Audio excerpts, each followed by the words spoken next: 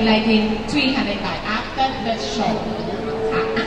มาใกล้เสร็จสมบูรณ์แล้วรูปสวยๆของเรานะคะบอกข้าง